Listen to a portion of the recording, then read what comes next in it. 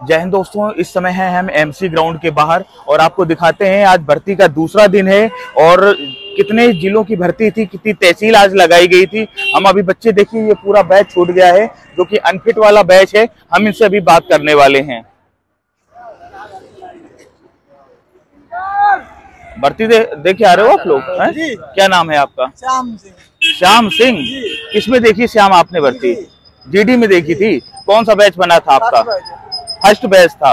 लगभग कितने बच्चों को दौड़ाया गया था? थोड़ा साइड पे आइए। हंड्रेड बच्चों को दौड़ाया गया था। आपके बैच में कितने लड़कों को पास किया गया? पच्चीस तीस। आप कैसे रह गए वहाँ पर? अच्छा नहीं मतलब आप तीस पैंतीस बच्चों को पास कर रहे थे सौ में। क्या आपने रनिंग की तैयारी नहीं की थी? कितनी आती थी आपकी टाइमिंग पर आती थी पाँच पाँच पाँच पाँच पाँच रोड में दौड़ते थे आप इसका मतलब। हाईवे में दौड़ते थे। क्या नाम है आपका? नहीं देखने आए थे। अच्छा आप थे? क्या नाम है आपका? नवल कहाँ से है नवल? मैं हमीरपुर हमीरपुर से रहने वाले थे। अच्छा आपका फ़र्स्ट बैच था या सेकंड बैच? इधर आ जाओ। फ़र्स्ट बैच में फ़र्स्ट बैच में ही दौड़े थे। तो आपका सेम बैच रहा होगा? कितने बच्चों को पकड़ा गया था? अच्छा शुरू में जब आपकी एंट्री की गई थी तो क्या डॉक्यूमेंट चेक कर रहे थे? डॉक्यूमेंट्स वही एडमिट कार्ड चेक करते बस। अच्छा केवल एडमिट कार्ड चेक किया जा रहा था। अच्छा अंदर जो बैच बनाए जा रहे थे वो सब बैच बराबर थे? सौ सौ के ही बैच थे कोई वो नहीं था। अच्छा मेन आप क्या कहना चाहेंगे? जैसे आप लोग ग्राउंड पे वहाँ पे रोड पे रनिंग करते थे। हाँ, रोड पे- रोड पे आपकी 1600 मीटर टाइमिंग क्या आती थी? मेरी चार पचास चार पचपन। चार पचास चार पचपन फिर भी आप रेस नहीं मार पाए।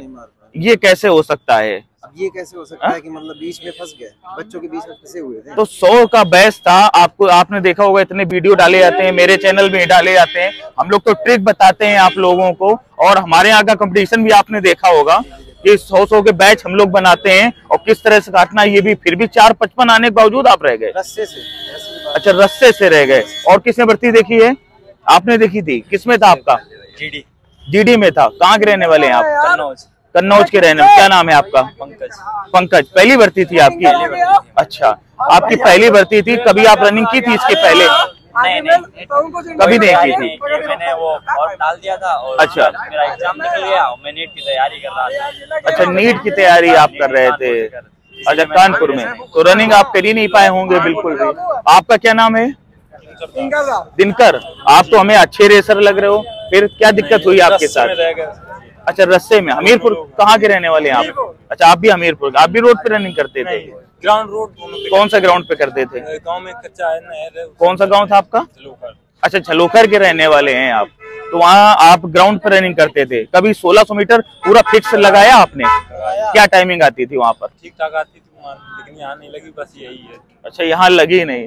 तो देखिए, बच्चों की टाइमिंग अच्छी आ रही थी। कोई बच्चा ग्राउंड पे रनिंग कर रहा है, कोई रोड पे कर रहा था, किसी की चार पचास है, चार पचपन। लेकिन जो मेन इशू बता रहे हैं बच्चे, वो यहाँ का ग्राउंड का बता रहे हैं। क्योंकि बजरी होने के कारण बहुत बच्चा रह जा रहा है और एक तो पानी डाल दिया जाता है, जिससे क्या होता है, कंकड़ उखड़ आते हैं। इससे बच्चों को नंगे पैर दौड़ने में बहुत ज़्यादा दिक्कत का सामना करना पड़ रहा है।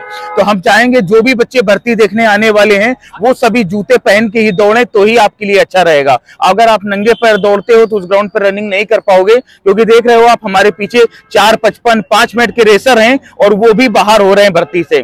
तो आप भी अगर भर्ती से बाहर नहीं होना चाहते हो तो कम से कम आप जूते पहन के आए। जय हिंद, जय भारत।